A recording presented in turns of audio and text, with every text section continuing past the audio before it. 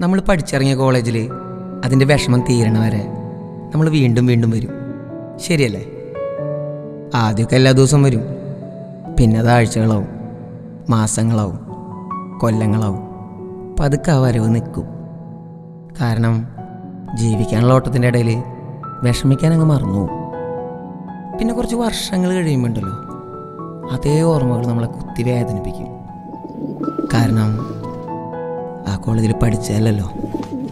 ജീവിച്ചല്ലേ കണ്ണാടി നോക്കുമ്പോൾ ചിലപ്പോൾ നമ്മൾ പഴയ പതിനെട്ടുകാരനായിട്ട് അങ്ങനെയൊക്കെ തോന്നുമ്പോൾ ഓടി വന്നോട്ടാ ഇങ്ങോട്ട് ഒറ്റയ്ക്ക്. ആ വരാന്തയിലൂടെ ഒക്കെ ഒന്ന് നടക്കണം. ഓർമ്മകളെ ഒന്നും മാടി വിളിക്കണ്ടെന്നേ. നമ്മൾ കോളേജിൽ കാലുകുത്തിയപ്പോൾ തുടങ്ങി. അത് നമ്മുടെ കൂടെ ഉണ്ടാവും.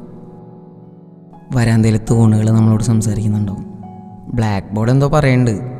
പക്ഷേ അന്നും ഇന്നും പുള്ളിക്കാരൻ എന്താ പറയണെന്ന് എനിക്ക് എനിക്കിതുവരെ മനസ്സിലായിട്ടില്ല.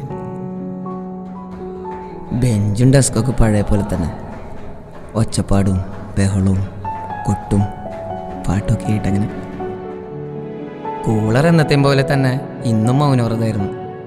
പിന്നെ ബാത്റൂം. അതാണല്ലോ നമ്മുടെ ഓർമ്മകളുടെയൊക്കെ കലവറ.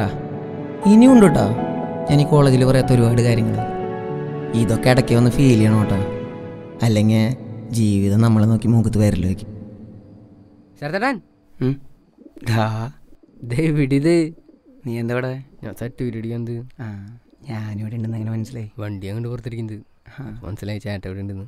എന്നിട്ട് പരിപാടി വേറെ ഏതെങ്കിലും വർക്ക് ചെയ്തിരുന്നതുണ്ട് എന്തിട്ട് പരിപാടി? വർക്കൊന്നും കൂടെ ആയിട്ടില്ല നീ. അതെ. മ്യൂസിക് ഒന്നും ചെയ്തില്ല അപ്പോൾ അത് കഴിഞ്ഞിട്ട് വേറെ.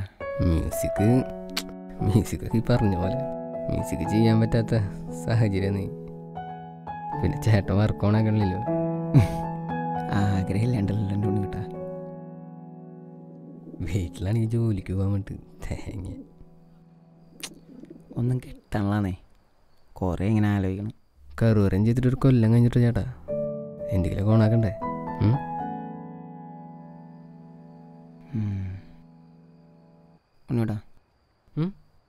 ഞാൻ ഈ കോളേജിനെ വെച്ചൊരു പടം ചെയ്താലും നൽകണം എഴുതിയാട്ടെ ഞാൻ ഒന്നുകൂടി പറയുന്നതാ.